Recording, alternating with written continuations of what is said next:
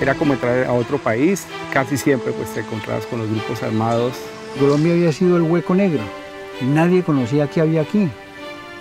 Eran muy pocos los que lograban salir al monte por el miedo de que les pasara algo.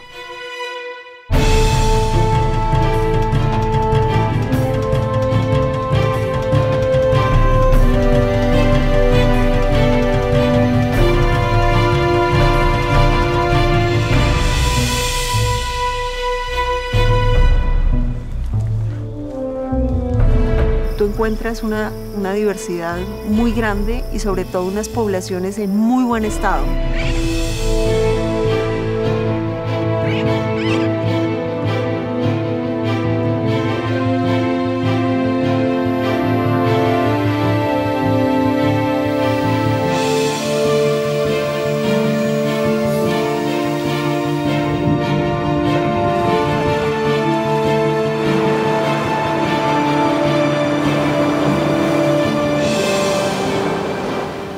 Es el momento de que, de, que eso salga a la luz, que todo esto salga a la luz, porque esto estaba como, como, como detrás de una cortina. Entonces corramos esa cortina, contémosle al país cuál es, cuál es el verdadero país que tenemos. Y nuestro país es este, diversidad biológica y cultural.